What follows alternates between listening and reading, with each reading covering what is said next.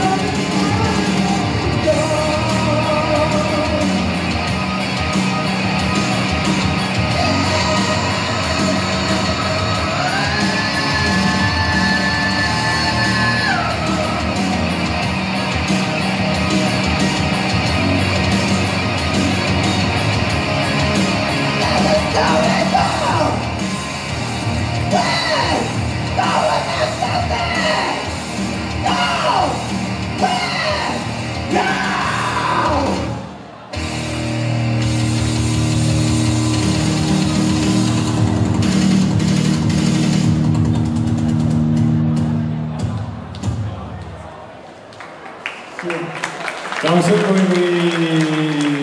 新若克 X，跟大家来正式打个招呼吧。刚刚呢，都还没有机会听你说话，都是听你唱歌。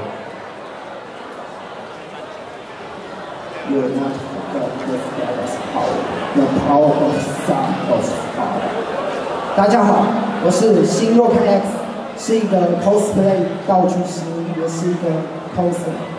哦，所以您是 coser，您也是 cosplay 的道具师，这意思就是，呃，您身上的装扮以及您所使用的武器是由您亲手所制作的喽？是的，是的，啊，您一手呃制作了您身上的装扮跟武器。您今天为什么会使用维希尔这个角色来舞台上面演出呢？因为从我以前我就很喜欢玩动作游戏，尤其是卡通的电影，我都玩很多，包含洛克人、恶魔猎人。而其中恶魔猎人这个游戏里面，后来玩到第三代的时候，发现维希尔这角色实在太杀了，真的是很很合我的胃口，所以我决定我要把。OK，所以你喜欢这个角色，用起来当然也很爽快。是 OK，那为什么选择了维秀的角色在舞台上面是使用刚刚一边是类似演舞，然后在后半段是演唱的方式来呈现您的演出呢？因为呢，在《恶魔恋》这一系列有一部作品是外传作品，而他找的的乐团刚好是 One Ok Rock 来担当这次的主题曲的的演出，而 One Ok Rock 是我非常也是我非常喜欢的摇滚乐团，他们的英文歌我都我都常常会在自己家里默默的练，然后终于有这个机会可以搭配《恶魔猎人》主题曲，然后唱出这首 Rock。OK，所以最近《恶魔猎人》也即将要出新的一代的游戏作品了。您已经看过游戏的画面了吗？有啊，您期待吗？很期待，非常期待。非常期待。等到时候发售了，相信你应该也会花不少时间在玩游戏上面。